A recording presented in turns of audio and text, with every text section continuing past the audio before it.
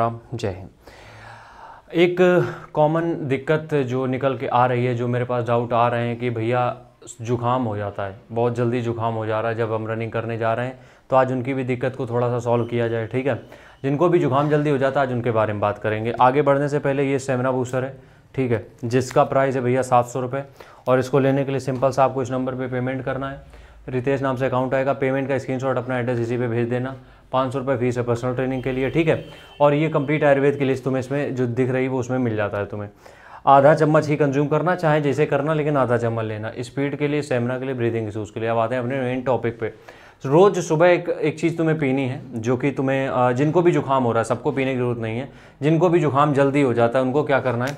एक दालचीनी का टुकड़ा, जो कि बहुत छोटा मतलब ये नहीं कि इतनी पी लिया कि झिल नहीं रहा है। एक छोटा दालचीनी का टुकड़ा, एक दो काली मिर्च, ठीक है? आधा चम्मच शहद और एक छोटा गुड़ का उसका अदरक का टुकड़ा, बस।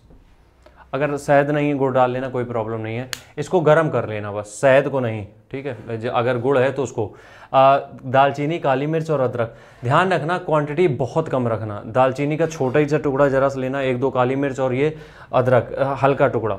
इनको बॉईल कर लेना अच्छे से और इसको चाय की तरीके पीना और इसको पी के सुबह रनिंग करने जाना। ये क्या करता है? सबसे पहली बात, ये तुम्हें इन्फेक्शन नहीं होने देगा किसी भी तरीके का जो डस्ट से हो रहा है। और दूसरी चीज़ ये भी है कि तुम्हें किसी भी तरीके की अगर दिक्कत ऐसी आ रही है कि मतलब चीज़ें नहीं हो पा रही तुमसे, जैसे कि अब क्या बताएँ हम? मतलब कई बार ऐसा होता है ना कि धूल ऊल की वजह से नाक में ऐसा लगता है कि कुछ भर गया या फिर हम सांस नहीं ले पाते, वो दिक्कतें सॉल्व करने के लिए बस ये चार चीज़ मिक्स करनी है दैट्स इट राम राम।